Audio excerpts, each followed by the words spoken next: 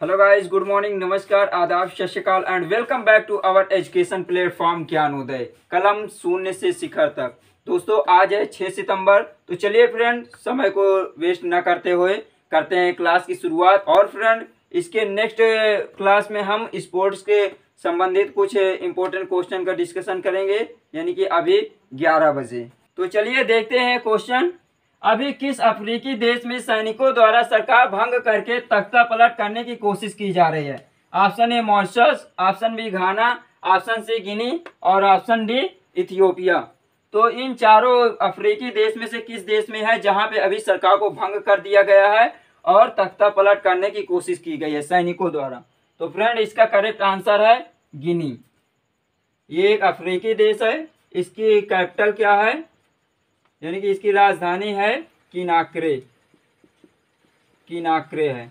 और यहाँ के जो प्रेसिडेंट हैं, प्रेसिडेंट, यानी राष्ट्रपति हैं यहाँ के अल्फ़ा कोंडे। अल्फ़ा कोंडे। अभी इन्हीं के राष्ट्रपति पद को लेकर ये सब हो रहा है। देखिए, इनको आज़ादी कब मिली है? गिनी को फ्रांस से। फ्रांस से उन्नीस सौ अट्ठावन में, उन्नीस सौ अट्ठावन में आज़ादी मिली है। अभी तक यहाँ पे फ्रांस का राज था और उन्नीस सौ अट्ठावन में इनको इनको आज़ादी मिली है। और इन पहली बार पहली बार 2010 में 2010 में यहाँ लोकतांत्रिक चुनाव हुए हैं और 2010 में ही पहले राष्ट्रपति के रूप में, पहले राष्ट्रपति पहले राष्ट्रपति के रूप में ये अल्फ़ा कोंडे को चुन लिया गया था और ये इनका दो कार्यकाल पूरा हो गया है 2020 में। और अब इनका तीसरा कार्यकाल होना था, जिसके लिए लोगों में बहुत सारी आलोचनाएँ हो रही है, क्योंकि जिस समय इनको पहली बार राष्ट्रपति चुना गया था, लोगों के मन में ये खुशियाँ थी कि चलो अब हम आज़ाद हो गए हैं, अब हमारे देश में एक नई शुरुआत होगी। लेकिन क्या हुआ, इनके शासन में भ्रष्टाचार और बहुत सारे अंकुश के आरोप लगाए गए। तो इसीलिए इनका जो तीसरा कार्यकाल था, उसके लिए बहुत समय से आलोचनाएँ चल रही थी।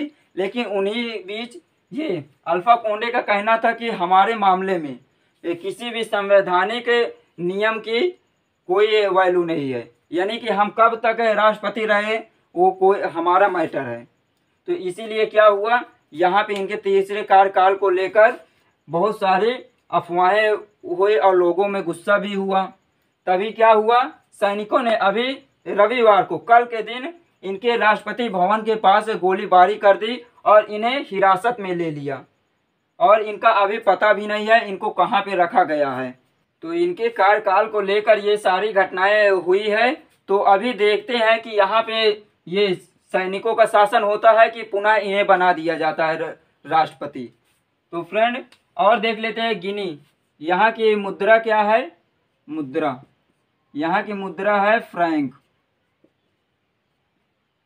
फ्रैंक है।